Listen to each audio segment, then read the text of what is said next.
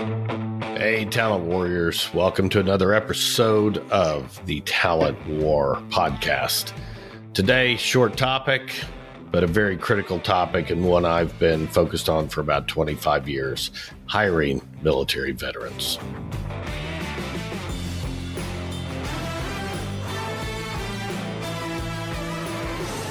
Look, we all know there's a talent war going on. But one of the things that we also know, unfortunately so, is highest unemployment statistics tell us that veterans have the hardest time finding employment when they leave uniformed service time. And it's always bothered me. And just to kind of refresh and go all the way back, when I got out of the US military and give it away my age, it was really pre cell phone, it was pre internet. There wasn't any LinkedIn, there wasn't Instagram, Facebook there wasn't anything. It was the look up a company, go to a military hiring conference, use some kind of company to get myself in front of things and really track down people that I knew. You know, it was really, really hard. And I remember the difficulty of transitioning. And what drove me nuts was as I walked out, I had this fear of transitioning. I had this fear of leaving what I knew well, what I had been trained in. And I was around people who were always invested in my success. And that was soldiers who worked for me. Those were my peers. Those were senior officers, senior non commissioned officers who put so much time and patience into me. And I was leaving what I knew. But one thing that I knew in my gut, my heart, my head, however you want to label it, I knew with certainty that the things that made me successful in the military would make me successful in the corporate world. And so I set about creating the first junior military officer hiring program. And no disrespect to non commissioned officers, as I was one very briefly. But I knew I had to start somewhere. And I was at a consulting firm, and I knew that we really could use the drive, the resilience, the effective intelligence, the problem solving, the emotional intelligence of military officers that had made the decision that four to seven years it was their time to move on. But there really wasn't a vehicle short of a lot of military placement firms. And I've worked with them and a lot of friends in that industry and high regard for a number of the people that I've worked with specifically. But I thought, why aren't we doing this for ourselves? So I set out and built a number of veterans hiring programs. And then once LinkedIn came and my career took off in talent acquisition, and I started to get a little bit of a reputation of knowing how to transition I went on a kind of the speaking engagement for these career conferences. I'd be asked to speak, answer questions of veterans, answer questions for companies. But I've been doing this for 25 plus years, helping veterans. And I've learned a ton along the way the good, the bad, the indifferent, as we all do as we go through life. But I can say that some of the problems that I faced back in the early 2000s when starting to build the programs, be that at KPMG and I built the one at Hewlett Packard, they still exist today. And so I wanted to just do a short segment with part one, really addressing companies out there. And then part two, speaking directly to the veterans with a few tips.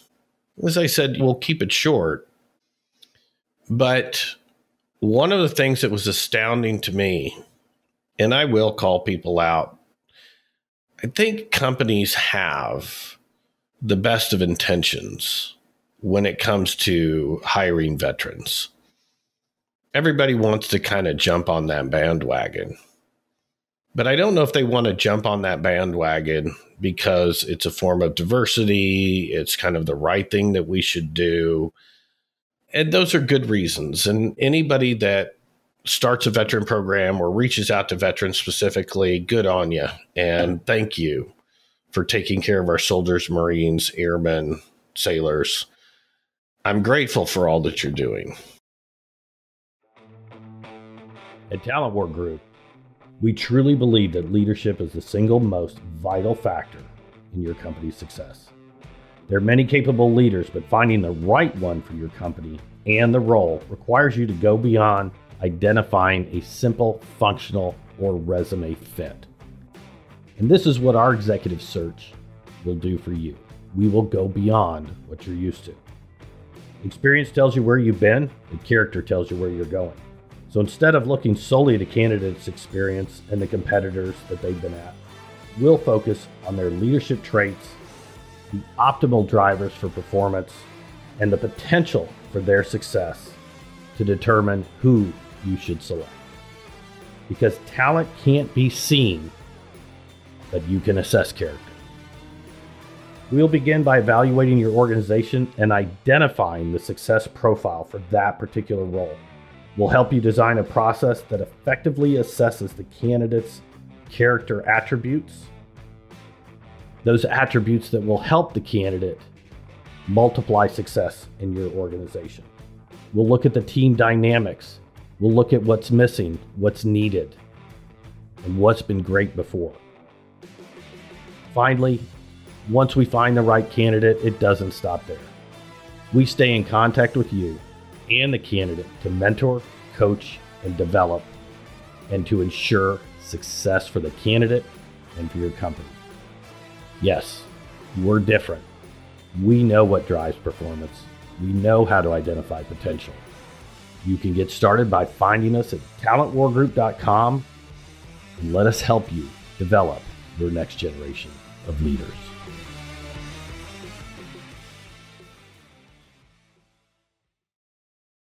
Companies out there, as Mike Sarraille and I have often said, the U.S. military is the greatest leadership incubator in the world. And the people coming out of the military are, you know, I used to compare military years to civilian years are like human years to dog years, or I have it the wrong way around. But I felt like my time in the military, I gained 20 to 30 years of experience on my civilian counterparts. And I think companies don't take a hard look and hire veterans for those leadership skills, those attributes such as drive and resiliency, and look at what they can bring to the table. Military veterans, when they come out, there's not a single one of them. You know, my brothers and sisters in arms who have followed the first plan and it went perfectly and everything worked out. We are masters at dealing with change, at dealing with chaos, at dealing with uncertainty or volatility, ambiguity, constantly changing conditions. And now, and I don't even know what we call it. I mean, we've had the pre pandemic, the pandemic, the post pandemic. I don't know that we're out of it. I don't know that we're still in it. I don't even know what you classify it as. But I do know that there's a war on talent and or a war for talent and what really gets me is that there's so much talent available to companies right now that they should be doubling and tripling their efforts to look at all branches of the services. And here's the tips that I would give you. First and foremost, I would take a really, really hard look at the jobs you have out there. And as I've told the TA leaders and HR leaders and executives that I've coached, quit over rotating on specific industry and skill experience and look at what really defines success from an attribute. Hire for character, train skills. Mike and I say that over and over and over. But coming out of the military, take a good look at your jobs and say, you know what? What we really need here is a go getter. We need somebody with drive, problem solving skills we need somebody with some familiarity to this industry. Every industry out there is represented in some form or fashion by one of the branches of the US military. Start going to those job fairs, start going to those joint bases, those posts, those air bases. Get involved with the military community, get involved with the transition centers. They go by many different names but find your way in there and start building a relationship with the bases and stuff that are closest to you. start taking a look and working with those military transition centers as to what is exiting the military. And remember, listen, when I entered the military, it's about 17 and a half, 18. Technically, I could have retired at 38. So even the more senior candidates you get, they get 25, 30 years of drive and energy behind them. So take a look at everything from a demographic perspective as to what's leaving those bases and those posts and get involved in the military community. Second, make sure that you're not just hiring veterans for the sake of hiring veterans, that you're checking a box, you know, on OFCCP or for diversity. Nobody in their right mind wants to be considered for those reasons. They want to be considered for talent. So make sure that you have a recruiter who's dedicated and who understands military profiles and who is a student of your business and can do the matching. These people coming out of the military are just students of leadership. They're surrounded in it. They've been living in a leadership fishbowl, regardless of their rank and position. They're experts at taking care of people, building teams, building tribes. And more importantly, now they're so used to dealing with people that are in dispersed locations. So start looking at what's coming out of the military and where they can best fit into your company. Because I'm going to tell you, one of the things that military people are well known for is their loyalty and their stick to itiveness. And everybody is facing retention issues on some level. And so, why not bring in the people that are going to stick and stay longer in your organization? that are really going to invest in it, really want their next mission, they want their next career to be somewhere with some length of time behind it. So start looking at military folks. Once you have that recruiter and you have those hiring managers, start small, but also develop a buddy system. Develop an onboarding system that allows veterans to come in it's a brand new environment and they're going to adjust as fast as they can, but they've been speaking a different language than those of us in corporate America. Have somebody that's there that's a resource for them that can partner up because the learning curve is absolutely going to be steep for any veteran transitioning to corporate America. But let's not make it tall. The idea is once you make the decision on any talent, veteran or otherwise, that you commit everything to that decision and make them successful. Otherwise, what are you doing? Invest in your talent, especially the military, to onboard them properly, to get them paired up, and then start tracking them and then start using them for referrals. They're the most amazing source of referrals. And it doesn't matter if we're talking professional consulting level or we're talking home construction, commercial construction, oil field work, product work, computer design. I mean, these are the most computer literate veterans coming out of the military these days. And they've had to do all of this and keep those skills fresh in the most austere conditions. The military is pumping them full of education. They're the most educated group of veterans leaving the service in any time in my 55 years. They're accomplished. They have all of these things. Get that recruiter, get those hiring managers, find those jobs that they can fill and get a special interviewing process for them. Start small and then start advertising those successes across the business. Start moving those military people around your firm. Absolutely be partnered with the bases and the posts. Do whatever you can to support the veteran community because they've been out there protecting our way of life. They've been protecting the U.S. economy. And so it is great to give back, but let's do it in the right way.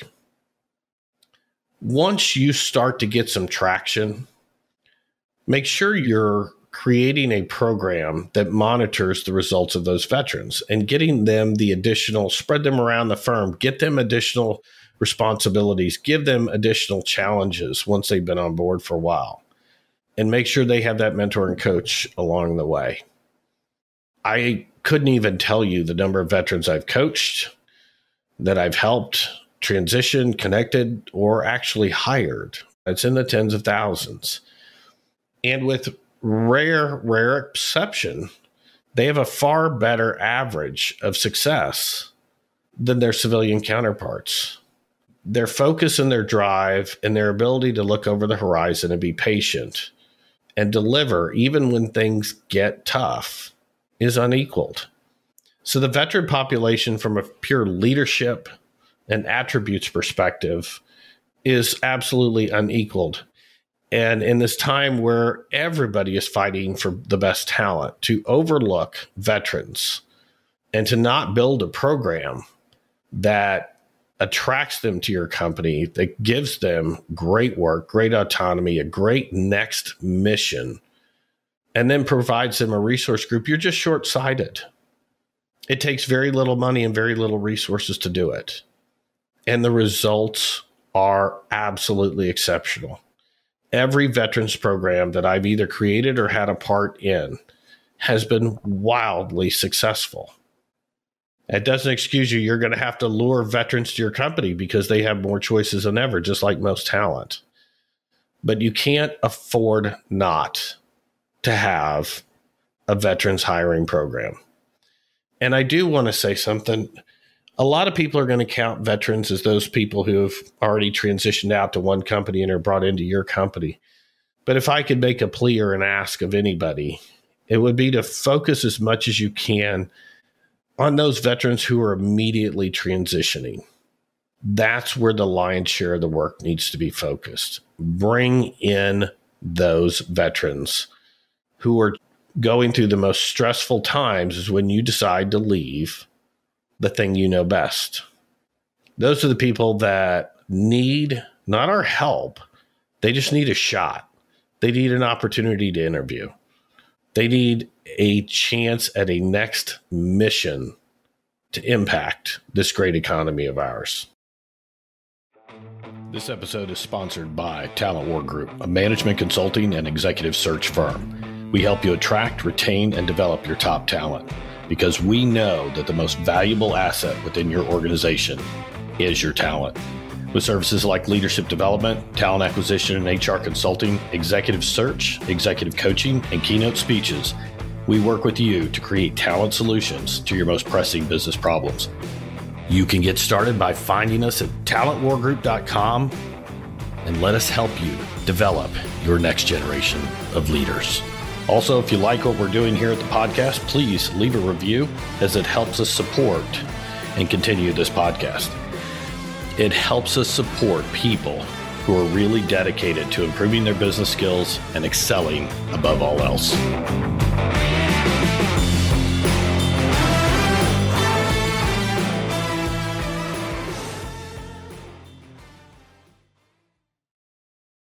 Shifting over to part two to the veterans out there as much as I've built these veterans programs and talked to a lot of veterans, don't rely on the fact that you were a veteran, that you're decorated, that you were in Afghanistan, Iraq, Somalia, Yemen, any number of hotspots around the world, Syria.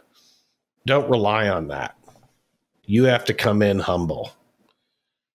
And the number one thing that I have taught people, taught veterans as they've transitioned, and actually this goes for civilians out there. The number one reason that people fail in interviews is they don't know themselves.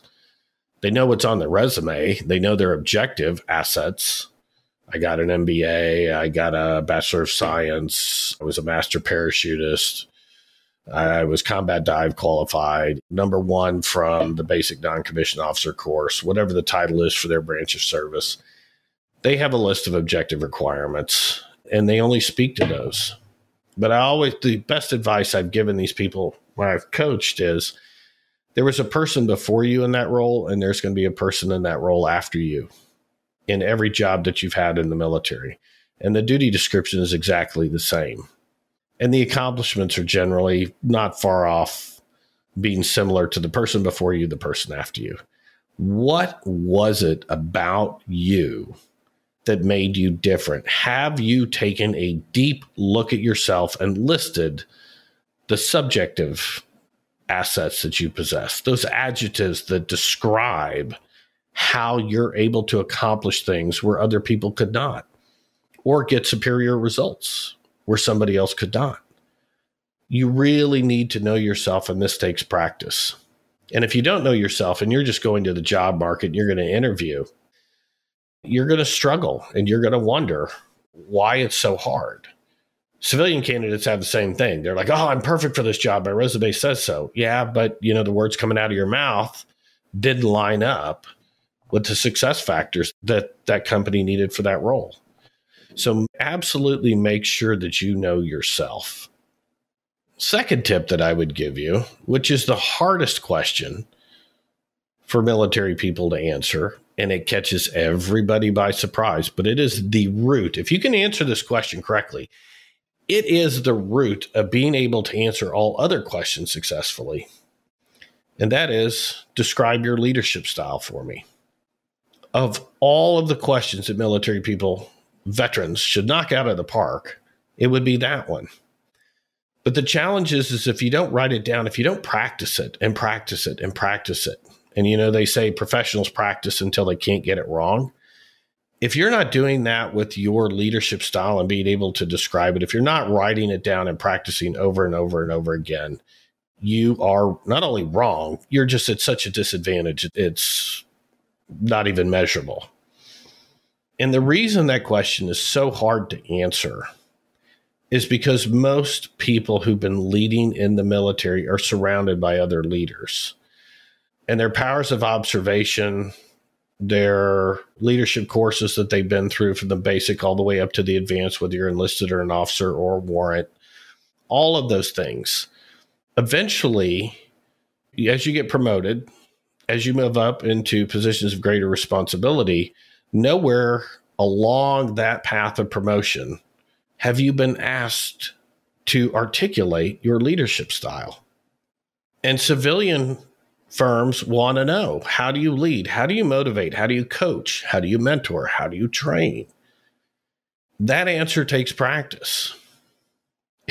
and as I've talked to countless people, if you've ever had subordinates or you've ever had your kids and they stood in front of you and the longer they talked, the more guilty you knew they were. That's exactly what happens when you get the leadership question wrong. You have to practice it. I'd give it another example that you may have spent a lot of time firing the M4. Let's say you've been a PowerPoint ranger for the last 10, 12 months, and you haven't spent time at the range putting lead down on targets. You have to practice. You have to get refamiliar with what it is about yourself that makes you a great leader, what you've learned, how you put that into action, how you approach problems, how you approach conflict, how you approach building teams. How do you approach getting people to do some of the most difficult things in the world above and beyond just ordering them to do it? And as veterans, we all know you can't just order somebody to do something. I mean, we can, but they're going to do it just to the letter of the instruction. They're not going to take the initiative. They're not going to be empowered. They're not going to take ownership to go do things. So, how did you get results out of the teams that you've led when you were given the impossible to do? What leadership mindset did you have that walked you step by step through problem solving, leading, coaching, mentoring, collaborating, seeking out data, looking at others? Putting all of that into how you do things all stems from getting the leadership question right. And you need to practice it and practice it. And I say it's like a professor at a university stomping their foot telling you that this is going to be on the test. The leadership question is going to be on the test. It always is. And the number of interviews that I've done when I ask somebody about their leadership style, I know immediately who does and who does not know themselves well. And it is a primary discriminator for somebody like me making hiring decisions. The other thing that I would add that I stress is that the more time you have in the military, the more leadership sometimes becomes muscle memory. And again, you haven't articulated it, just happens. And sometimes you don't or have never been asked to sit down and think about it. But absolutely work on that answer. And from that answer, everything else will be much, much easier to answer in a positive and impactful and relatable way. Another tip that I would share with those veterans who are listening There is one thing that translates from the military to civilian, and that's numbers, data, dollar signs, percentages. Anytime that you can quantify something in an accomplishment, be that a bullet on your resume or in an example that you provide as an answer. I was ranked number one out of 25. I saved or brought this mission of logistics in with no safety related incidents one week ahead of time. I was able to reduce our inventory by 25%, whatever. And these are all just off the top of my head. But anytime that you can insert numbers, percentages, dollar signs, and especially the dollar signs of the value of equipment that you've managed, those things translate and people understand those. You know, it's one thing to say, hey, I managed 15 M1 main battle tanks. It's another thing to say, I managed $2.5 billion worth of aircraft maintenance we all know that those things are important, but how you say it and how you relate that is really, really important. The other thing, and I'm going to go out on a limb because there's going to be a lot of companies that disagree with me, but over all the years, I've been proven right time and time again. And that is the STAR method of answering questions situation, task, action, result. I've never, ever, ever cared for that for the very simple reason is that when I've briefed senior non commissioned officers, when I briefed senior officers, and especially flag general officers, and I was asked a question, I would be hanging at the end of a rope, twisting in the wind, a very, very slow death if I tried to answer a general officer with the STAR method. The right method is bottom line up front. Answer the question as directly and as succinctly and with as much impact as you can in the first one to two sentences.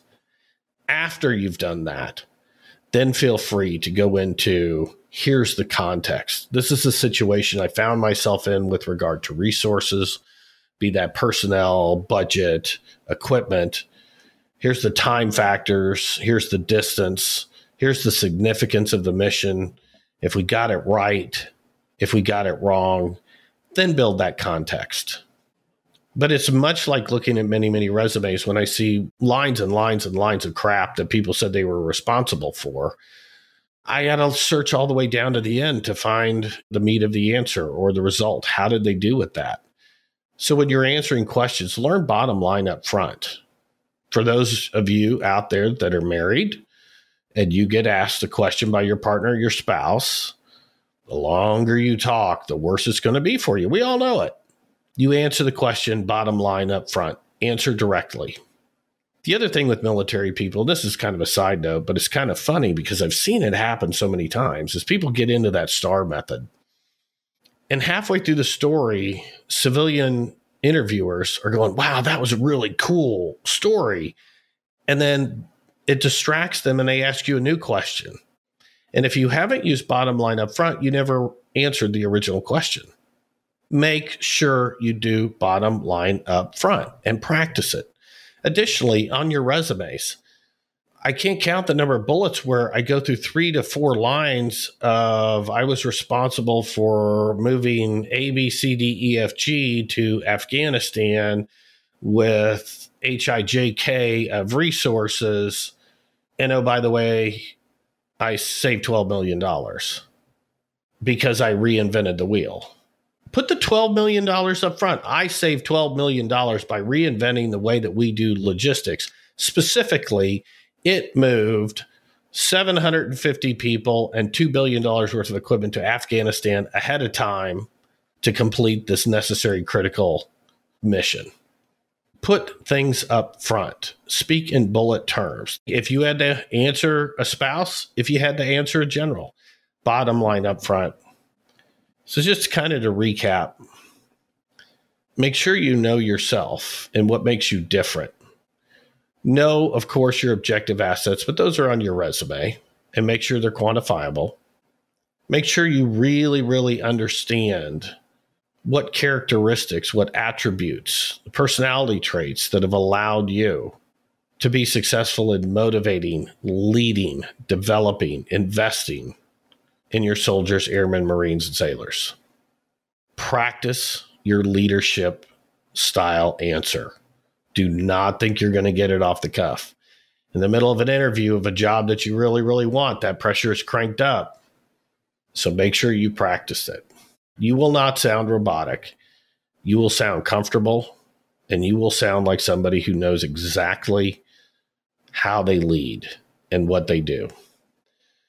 Always make sure that when you talk about leadership, that you have a tone of humility, of learning, of always learning and giving credit to those people who have put time into you as mentors and coaches.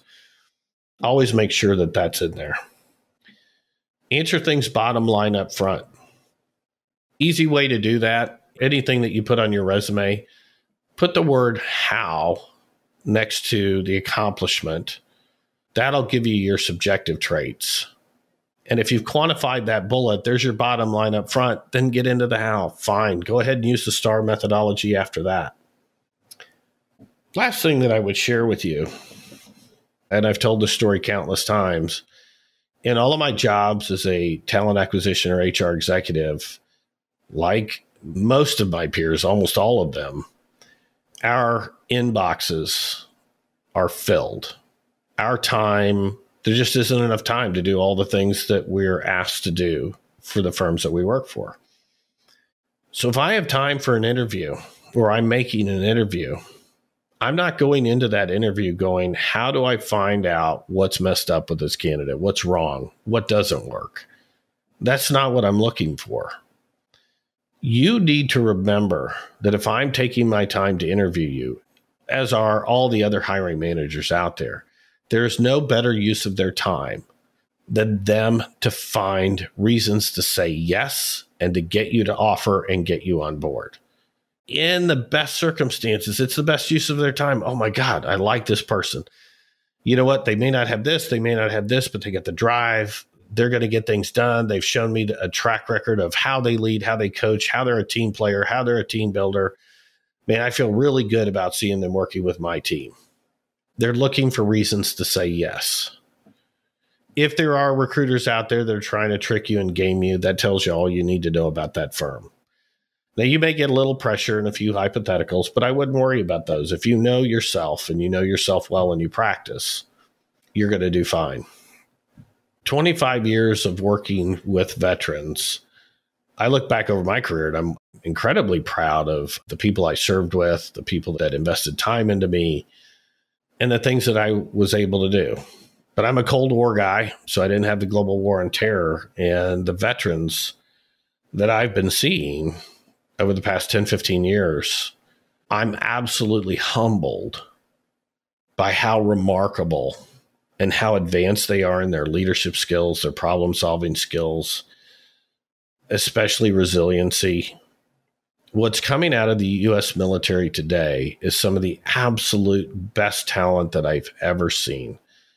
So if you're a hiring manager, company out there, you need to figure out how to do this right. And you need to figure out how to dip into the military community and get some of the best talent that you possibly can. But veterans on the other side, you've got to give them reasons to say yes to you. You have to practice. Like I said, you just don't pick up the M4 and start sending lead down range. Practice, practice, practice. Professionals practice until they can't get it wrong. Do not think, no matter how slick you are, that you are going to tap dance in an interview. Somebody like me with hundreds of thousands of interviews under the belt, that's about a three second drill. And I'm going to know it it doesn't serve your best interest and it doesn't serve mine either. Hiring veterans is one of the most, if not the most rewarding thing I've done in my life. And I'm proud to have been able to help so many. And it was only because I wanted them to have it easier than I had it when I transitioned for me, it was a bear, a lot of hard lessons learned. LinkedIn and other digital and social media tools have certainly leveled the playing field. But the things that haven't changed are firms not putting a full program together. And I would encourage you to do that. It's some of the best talent in the world. It always has, always will be. And for veterans, you've got to put the work in. If you want to have that successful, impactful career that where you're climbing either the ladder or the climbing wall of corporate America, it starts by doing the work. It starts by knowing yourself and practicing how to articulate what makes you great, what skills and attributes that you have relate to that firm so they know you're going to make an impact. It is a win win situation when companies get it right and the veterans get it right. And at the end of the day, we've strengthened the leadership fabric of many companies. We've given great careers to people who have sacrificed so much and are now on to their next mission. But it takes two to tango to make it very, very simple. And I'll leave you with this. If you want to learn how to do it better, by all means, call the Talent War Group. We have a ton of experts. I've been doing it for 25 plus years, but we have Josh Johnson, we have Carly Walden, we have Mike Sarraille. We have a lot of people who can help you do this and do this the right way. And it can be simpler and small, or it could be large, and we can do it across the globe. But we're here to help you, and we're here to help veterans. We absolutely believe in making the U.S. economy as strong as we can make it through talent. And there's nothing more rewarding for us than helping and advising our fellow brothers and sisters in arms achieve their next career, a great life for their family, and get them started in the right way. All this to say, veteran hiring has been one of the best parts of my life. And I want to see it continue. So I hope as you download this episode, I hope you listen to it. I hope you figure out how can we do this better. And I hope you get busy doing it. Until then, Remember, talent wins, and the only true competitive advantage you can hope to achieve and maintain is your human capital. It's not your product or your service. So get after it. Look into veterans. Veterans get better. And I look forward to seeing you out there. Have a great week. And thank you for listening to the Talent War podcast, where we discuss all things talent focusing on a talent mindset, the core belief that the only true competitive advantage you can hope to achieve and maintain is your talent. Join us for the next episode of the Talent War podcast on Spotify, Apple Podcasts, or wherever you get your podcasts. And if you like what you heard, subscribe and please leave a review. Connect with me on Talent War Group's LinkedIn, Facebook, Twitter, or Instagram accounts and send your comments and inquiries to media at talentwargroup.com. The Talent War podcast is brought to you by the Talent War Group management consulting, and executive search firm. We work with you, bringing services like talent acquisition, leadership development, executive search, executive coaching, seminars, speaking engagements, all to create talent solutions for your most pressing business problems. To get started, visit us at www.talentwargroup.com.